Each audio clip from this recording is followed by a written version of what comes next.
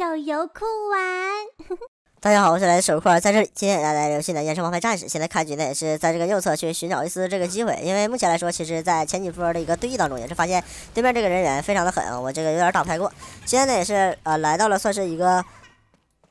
自家得到一点点小优势，那目前来说呢，也是希望这个队友啊比较给力，去把这个优势延续下去。现在呢，也是看到对面，然后也是直接一发这个大招，然后也是直接没有打死，没有打死之后，再补了几发输出，也是直接冲锋枪带走，然后在侧面的一个火山也是直接被我击杀。那这位置呢，也是被对面的一个独狼，然后也是在这个后。就是在我侧边的一个位置将我偷袭掉了。现在呢也是赶紧去赶往这个战场，然后现在也是看到对面的一个莫甘，然后也是直接下来，你看这冒着自己生死的一个呃这个负面影响，依然是决定干掉对面的一个狙击手。所以说目前来讲呢，其实我个人觉得我这把的一个作用呢，就是去击杀对面的一些关键人员，包括这个莫甘在内的所有人员，其实目前来说应该是都处于我个人的一个这个狙杀范围之内。那现在呢就是要找这个机会，但这个位置我这个打这个火神，其实也是跟他进行一波比较极限的一个互换。如果不是因为最后我跳到了这个建筑物的一个后边，他再给上我一发输出，我应该也没了。呃，这个位。置呢，其实就是想跟大家说一下，就是你每把呃，你会遇到这个人物不同，就是你会遇到很多各式各样的这个人。但是我要稍微给大家说一句的，就是无论你遇到什么人，其实你会发现，呃，比较难解决的永远是那几个。呃，就是有的角色，其实比如说有的人玩这个龙玩的特别好，那其实他对于你家的一个影响，对于重装的一个影响非常低，他只是说对于你家狙击手有很大的一个影响，他只是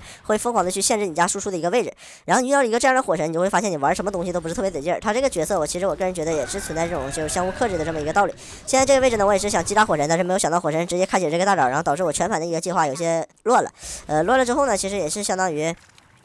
被这个对面找到一波机会，然后对面也是呃三下五除二吧，算是给我家带，就是造成了很大的一个杀伤。那目前来说呢，其实也是有一些问题的，因为首先第一点，这把呢其实大家应该是都不太想输，所以说呃感觉自己家队友玩的都比较起劲。那这把呢，我们也是需要去呃协助我家队友完成一定的这个作呃属于自身的一个作用。但是目前来讲呢，其实我个人发挥的一个作用微乎其微，就是我个人确实是没有办法去比较有效的打击到对面所有的一个人。然后现在呢，我也是切到对面后头，然后看到这个女王，然后打了女王几下之后，女王一个位移将我沉默，然后放不出来榴弹，然后也。直接被这个女王击杀。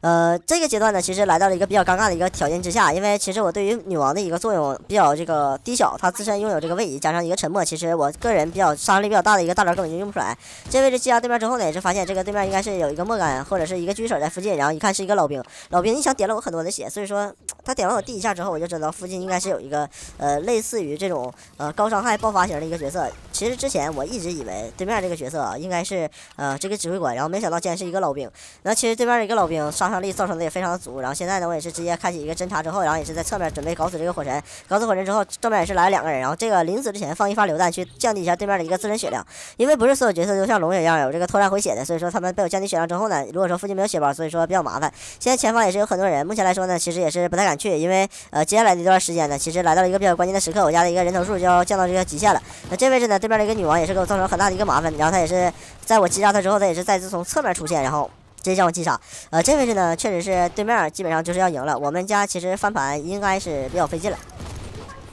呃，目前来说其实也没什么特别好的一个办法。那接下来呢，其实只能是看我家的一个呃队伍整体的一个发挥会呃打到什么样了。但是目前来看，其实翻盘无望啊。这个女王直接开启大招，然后开启大招过程当中也是直接追着点他，直接将他在大自己的一个大招里点死。然后这位置也是看到对面的一个这个呃独狼，然后也是直接开启自身的一个大招，然后点了两下之后，呃，没有子弹了，比较尴尬。